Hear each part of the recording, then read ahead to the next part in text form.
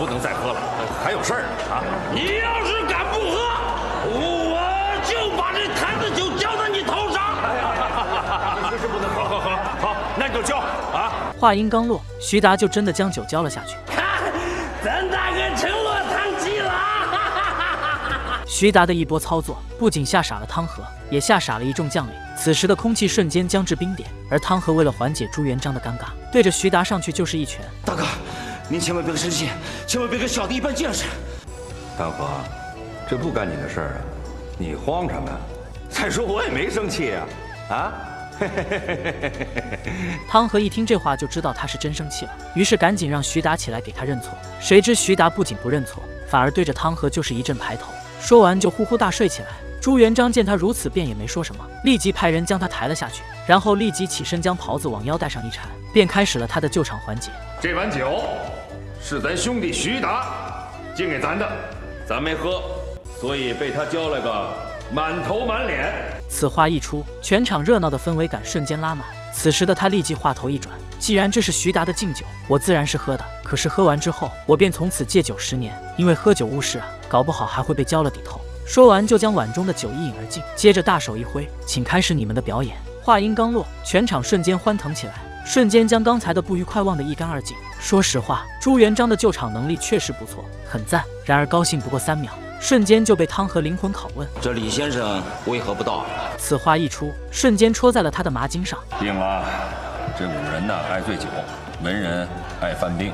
朱元璋的一席意味深长的话，瞬间就拉起了他的回忆。原来在朱元璋拿下金陵城的时候，明王的旨意便到了，不仅没有责怪他对郭天旭的见死不救，反而大赞他智取金陵，晋升他为虎威大元帅，统领江南中书阁省平章政事。此时的朱元璋可谓是走上人生巅峰，可下一秒就是他的诛心之举了。自从咱们取金陵为根据以来，短短半年，咱们的军力就扩大到了六十五营三十二万，战城池十七座。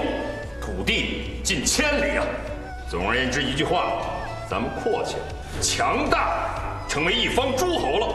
一席话说的底下将士热血沸腾，可让他们更为激动的还在后面。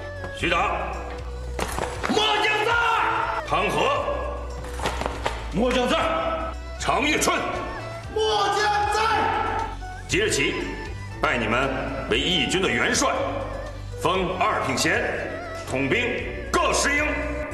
谢大帅！听着朱元璋喊着一个个熟悉的名字，李善长的心也提到了嗓子眼。不知道身为谋士的他会被朱元璋封个什么官呢？可一直到最后，他都没被提名，这让他瞬间哇塞！在经过深思熟虑之后，他便想明白了，这朱元璋还是记着他背叛两回的事呢。之前自己就说过，这朱元璋重情，对背叛这种伤害感情的事，他肯定不会轻易忘却，所以才没给他受封。原来他心里还有气呢。想到这里，他也就释然了。然而就在这时，汤和的突然造访。让他有些受宠若惊。然而汤和来是告诉他，朱元璋让他去讲学，这让尴尬的李善长立即表示自己早已跟朱元璋请了病假，今天不上班。此话一出，瞬间遭来汤和的抵制。看你现在的神情这么活泛，哪像是生病的样子？要病怕也是尴尬病，别墨迹了，快走！汤和的一席话，瞬间让他被迫营业。看来这次是躲不掉了，于是他便趁这次机会将事情做个了结。我知道，上尉对当年那件事一直不能忘怀。当年的哪件事？郭子清过世时，我投效过郭天旭。这事儿是我软弱，我糊涂，我不明事理啊！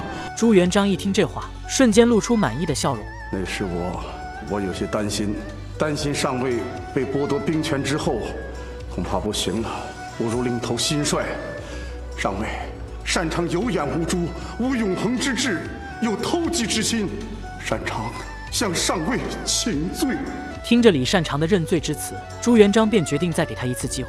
你说这郭天旭是怎么死的？是被元军杀死的，还是被咱朱元璋给害死？